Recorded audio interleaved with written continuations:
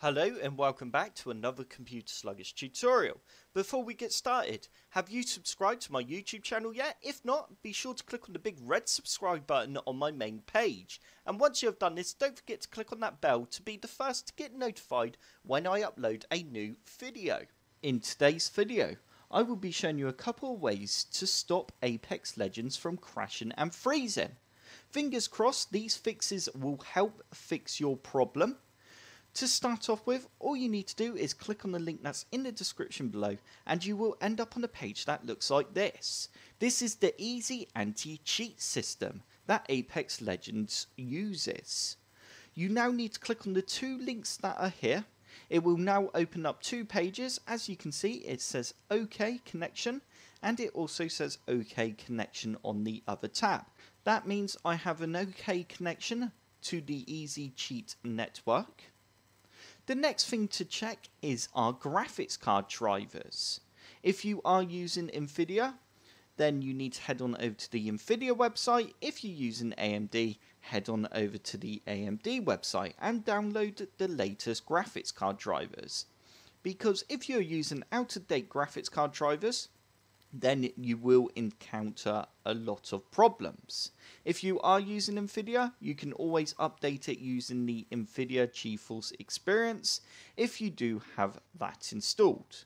By simply going down to the bottom right hand corner of your screen and right clicking on the icon and then pressing the GeForce Experience button. As you can see, it has detected there's a few updates and it's starting to update them for me now.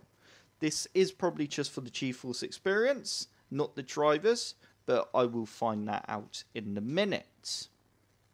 The next test, once you have updated to the latest graphics card drivers, is to make sure you are running the latest Windows updates.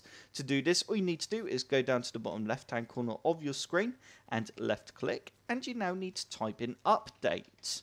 And you need to simply click on check for updates and this will now check your system to see if you have the latest Windows update.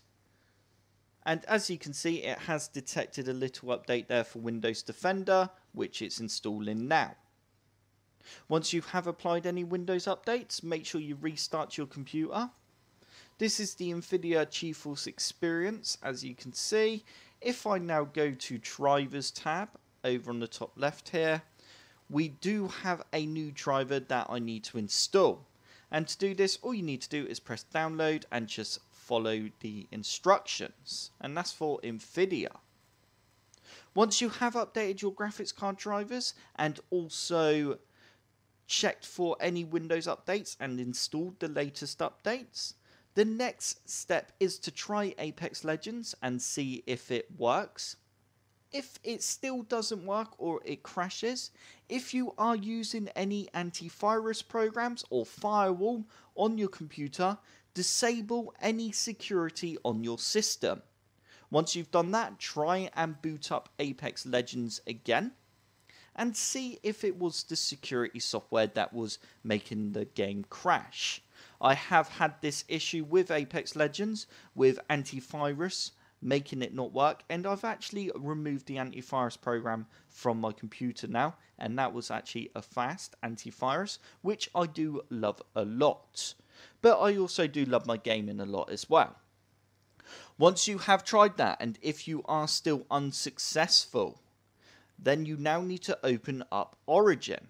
And you need to right click on Apex Legends and simply click on Repair and it will now run a repair process on Apex Legends and just make sure all the files on the game are all okay and not corrupt and if it does detect anything then it will just install the new files. As you can see it's running down in the bottom left hand corner here which is all good. You can then try and launch Apex Legends and hopefully that will fix any problems you are having. But if that still does not fix your problems, then you now need to minimize origin and you simply need to right click on the Apex Legends shortcut on your desktop if you have it. If you don't, just go to your start menu and find Apex Legends by simply going down to the bottom left, typing in Apex Legends and right clicking on Apex Legends and going onto open file location. You now need to right click on the shortcut and go to properties and you now need to go across to compatibility and we now want to simply click on the run this program as a administrator and press apply and OK and hopefully that will also help any problems you are having. Unfortunately, that does pretty much bring us to the end. If you're still having problems with Apex Legends, then you need to reinstall the game. I know you did not want to hear that, but unfortunately, you have run out of options. And to do this, all you need to do is right click on the game, press uninstall, and then reinstall the game. And hopefully, that will remove any issues you are having. I hope this tutorial has helped. If it has, hit the like button below and subscribe for more computer sluggish tutorials.